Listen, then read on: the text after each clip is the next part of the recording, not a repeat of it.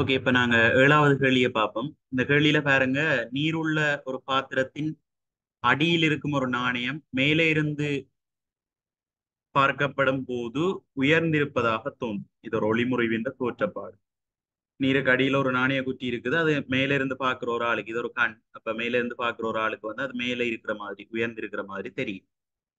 ஒரு ஒன்றை உங்கள் விடைத்தாளில் பிரதி செய்து நாணயம் அவ்வாறு உயர்ந்திருப்பதாக தோற்றும் விதத்தை காட்டும் கதிர்வரிப்படத்தை வரைக. ஒளிமுறை படிக்கைக்குள்ள அந்த மீன் மீன் கொக்கு அதுகளுக்கு மீன் தெரியக்கூடிய விதம் என்று சொல்லி எல்லாம் பாட புத்தகத்துல அந்த படங்கள் எல்லாம் இருந்தது. இதை விட ரெண்டாயிரத்தி பதினாறாம் ஆண்டும் ஒரு பாஸ் பேப்பர் கேள்வியில வந்திருக்குது. அதே விஷயம் தான் நான் இங்க வந்து நாணய குட்டி என்று தந்திருக்கணும். அதோண்டு தான் வித்தியாசம். மற்றும்படி அதே கேள்விதான். அதன் பேட்டர்னை மாத்தி தந்திருக்கு. சரியா? அப்ப அஹ், நாங்கள் இதுக்குரிய கதிர்வரிப்படத்தை வரைவோம்.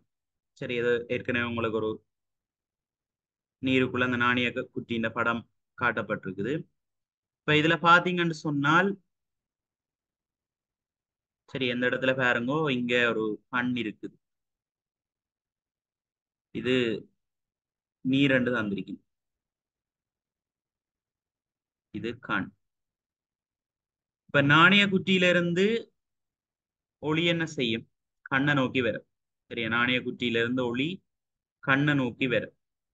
அப்போ படத்தை நாங்கள் கீழுடுவோம் நாணய குட்டியிலிருந்து இந்த நீருக்கும் இது நீரண்டா இது வழியில இருக்கிறது வழிதானே. அதுக்கும் இடப்பட்ட அந்த மேற்பரப்பு வரைக்கும் ஒளிக்கதிர் வாரதை நான் காட்டுறேன். சரி அப்படி ஒளிக்கதிர் வருது?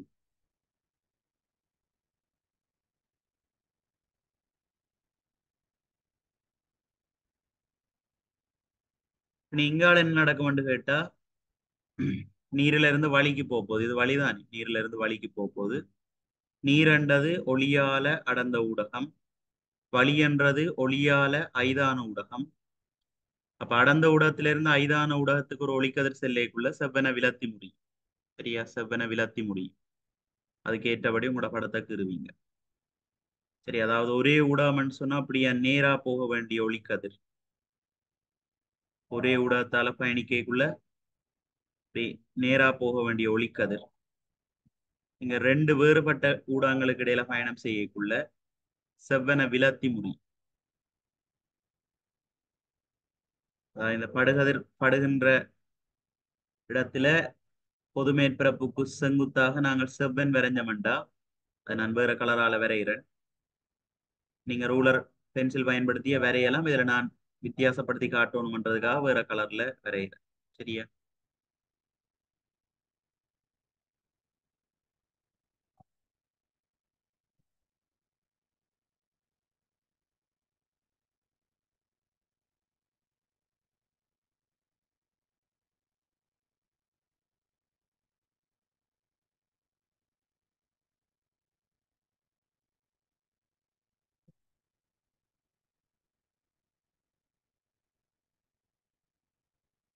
சரி அப்ப செவ்வன விலத்தி முடியுதன் செவ்வன விலத்தி முடிகிறேன்னு சொன்னால்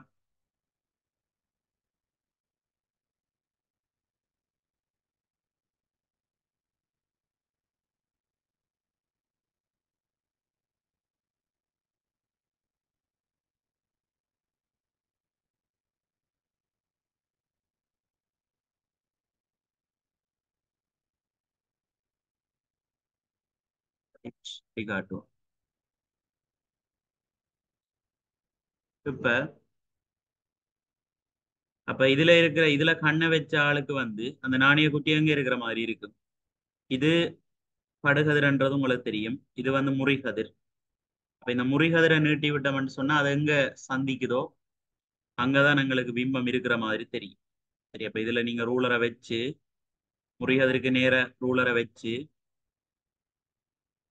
பின்னால நீட்டுவான். சரியா? நான் ப்ளூ கலரால அதை காட்டணும் வித்தியாசப்படுத்தி காட்டணும். அதுக்காக.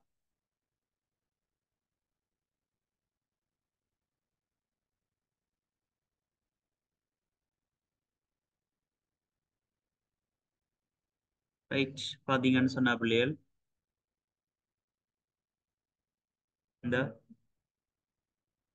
இந்த முறிகதிருக்கு நேர நான் ரூலரை வச்சேன்னு சொன்னா அதை நீட்டி விட்டேன்னு சொன்னா அந்த அந்த முறிகதிர் வந்து இந்த புள்ளியில சந்திக்கும். இந்த இடத்துல எங்களுக்கு பிம்பம் உருவாகிற மாதிரி இருக்கு அப்படி ஒரு கதிர்வரி படத்தை நாங்க வரைஞ்சோம்டா சரி. சரியா இதே மாதிரி ஒரு கதிர்வரி படத்தை நீங்க வரைஞ்சு காட்டினீங்கண்டா சரி.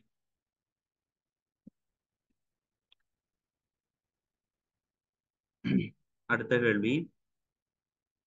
ஒரு அடர்ந்த ஊடகத்திலிருந்து ஒரு அரம் ஊடகத்துக்கு செல்லும் போது அரம் ஊடகம் என்றால் ஐதான ஊடகம் ஒரு ஒளிக்கதிரின் அடர்ந்த ஊடகத்திலான படுகை கோணத்தின் மூன்று சந்தர்ப்பங்கள் ஒரு ரெண்டில் காட்டப்பட்டுள்ளன. அடர்ந்த ஊடகத்திலிருந்து ஐதான ஊடகத்துக்கு வார சந்தர்ப்பங்கள் காட்டப்பட்டிருக்கு. எக்ஸ் என்ற சந்தர்ப்பத்துல வேறங்க படுகை கோணம் அவதி கோணத்திலும் பார்க்க சிறியதா. படுகை கோணம் அவதி கோணத்திலும் சிறியதாக இருக்கேக்குள்ள இதுல ஒளி அடர்ந்த ஊடகத்திலிருந்து ஐதான ஊடகத்துக்கு போகுது ஆவே செவ்வென விலத்தி முடியும். ஒரே ஊடகம் அப்படியே நேரா போக வேண்டிய ஒளிக்கதிர்.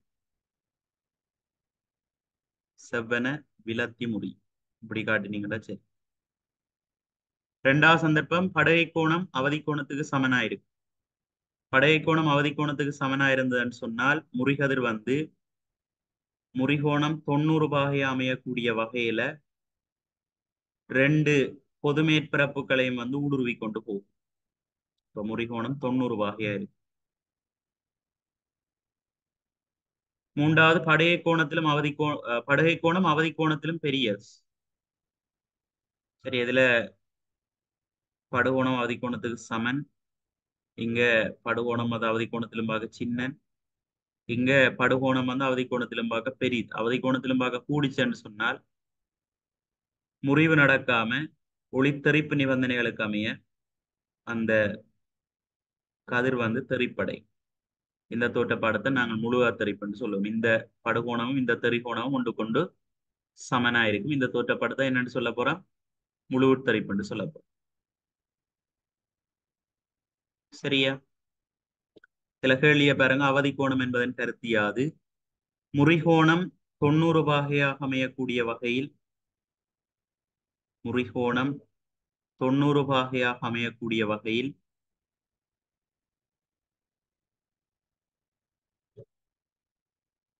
படுகதிர் அமையமாக இருந்தால் அதைத்தான் நாங்கள் அவதிக்கோணம் என்று சொல்லுவோம். சரியா? முறிகோணம் தொண்ணூறு வகையாக உள்ள படுகோணத்தை வந்து அவதிக்கோணம் என்று சொல்லுவோம். இரண்டாவது கேள்வி ஒரு ரெண்டை உங்கள் விடைத்தாளில் பிரதி செய்த எக்ஸ் ஒய் செட் ஆகிய சந்தர்ப்பங்களில் கதிர் முன்னோக்கி செல்லும் பாதையை காட்டும் கதிர் வெறிப்படங்களை பூர்த்தி செய்க. அதை ஏற்கனவே காட்டிட்டோம் அடுத்த ஒரு ரெண்டின் சந்தர்ப்பம் எக்ஸ் சற்றில் நிகழும் தோற்றப்பாட்டை பேரிடுங்க சற்றில நடக்கிறது பாத்தீங்கன்னு சொன்னா முழு அகத்தரிப்பு அல்லது முழு உட்தரிப்பு. முழு அகத்தரிப்பு அல்லது முழு உட்தரிப்பு. அடுத்த மேலே சீட் குறிப்பிடப்பட்ட தோற்றப்பாடு பயன்படும் இரு சந்தர்ப்பங்களுக்கான உதாரணங்கள் தெரிக. ஒன்று அகங்காட்டிகள்ல பயன்படுத்துவோம். சரியா? மருத்துவத்துறையில அகங்காட்டிகள்ல பயன்படுத்துவோம். ஒளியல் நேர்களில் பயன்படுத்துவோம். அடுத்து அரியங்கள்ல நடக்கிற முழு உட்தரிப்புல பயன்படுத்துவோம். மற்றது காணல் நீர் தோற்றப்பாடு. இது எல்லாத்திலையும் முழு உட்தரிப்பு தான் பயன்படுத்தப்படுது வலு ஆயிரம் பேட் என குறிக்கப்பட்டுள்ள ஒரு மின்கேத்தலை பயன்படுத்தி நான்கு கோப்பை தேநீரை தயாரிப்பதற்கு தேவையான அளவு நீரை கொதிப்பிப்பதற்கு மூன்று நிமிடம் எடுக்கிறது. இங்கு செலவிடப்படும் மின்சக்தியின் அளவை காண் மின்சக்தியின் அளவு காண்றதுக்கான சமன்பாடு இ சமன் பிடி என்று வரும். இங்க வலு ஆயிரம் வேட் எடுக்கிற நேரம் பாத்தீங்கன்னா மூன்று நிமிடம். நாங்கள் இங்க மின்சக்தி ஜூல்ல வரணும்னு சொன்னா நேரத்தை செக்கனாக மாற்ற வேணும் ஆகவே நிமிடத்தை செக்கனாக மாற்றுறதுக்கு அறுபதால பெருக்கும். சரி அப்ப சுருக்கின வேண்டாம். மூன்று மூன்று நாலு சைவர் ஆறு மூன்று பதினெட்டு. சரி அப்ப நூற்றி எண்பதாயிரம் ஜூல் என்று வரும். இதுதான் சக்தி.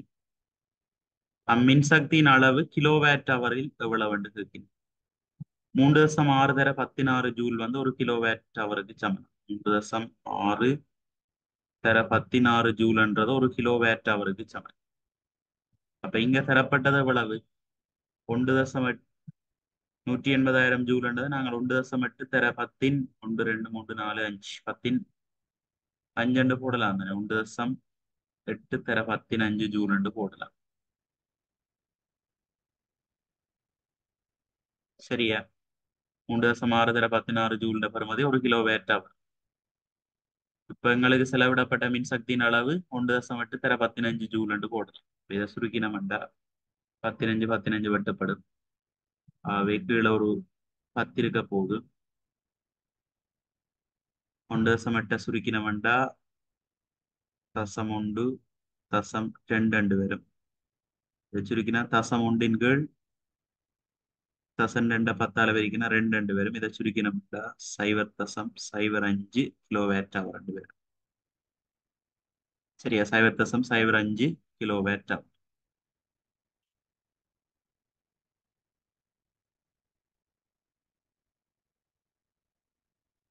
அடுத்த வருங்க நான்கு கோப்பை தேநீரை தயாரிப்பதற்கு எட்டு கோப்பை தேநீருக்கு தேவையான அளவு நீரை கொதிப்பித்தால் வீணாகும் மின்சக்தியின் அளவு கிலோவேட் அவரில் யாது சரியா நான்கு கோப்பை தேநீரை கொதிக்க வைக்கிறதுக்கு தான் இவ தசம் சைவர் அஞ்சு கிலோவேட் அவர் மின்சக்தியை வந்து பயன்படுத்தினோம் இதை எட்டு கோப்பை என்று சொன்னா அதிண்ட டபுள் மடங்கு. ரெண்டு மடங்கு மின்சக்தி வந்து என்ன செய்யப்படும்? பயன்படுத்தப்படும். ஆகவே செலவாகிற மின்சக்தியின் அளவென்று கேட்டால்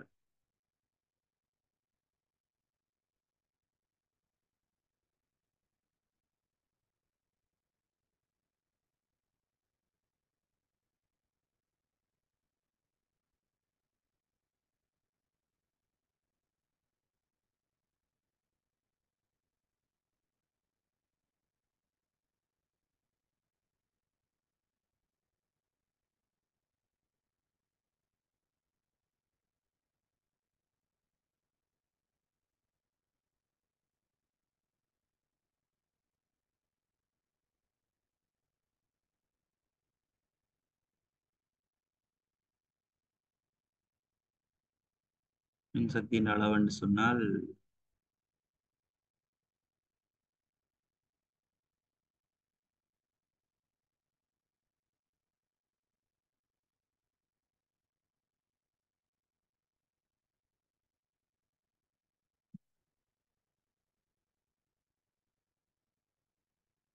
தேனுக்கு தேவையான அளவு நீரை கொதிப்பித்தால் மின் சக்தியின் அளவு. கிலோவேட் அவரில்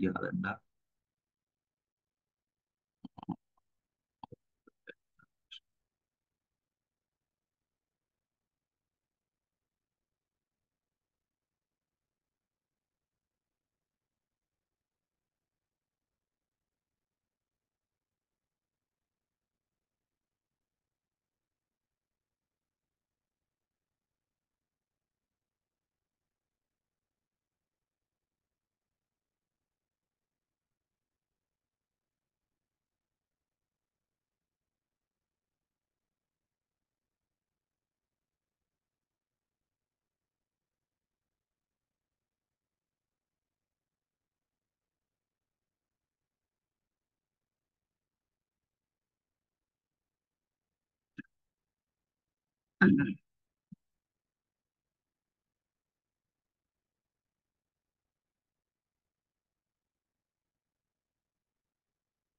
சரி அப்ப இதுலயும் பாத்தீங்கன்னு சொன்னா தசம் சைவர் அஞ்சு கிலோவேட் அவர் மின்சக்தி தான் வீணாகும் என்னன்னு சொன்னா நான்கு கோப்பை தயாரிக்கிறதுக்கு தசம் சைவர் அஞ்சு கிலோவேட் தேவை அப்ப எட்டு கோப்பைக்கு அந்த டபுள் மடங்கு தேவை அப்ப நாங்க நான்கு கோப்பை தயாரிக்கிறதுக்கு தேவையான தண்ணிக்கு எட்டு கோப்பையை கொதிக்க வச்சோம்னு சொன்னால் மொத்தமா தசம்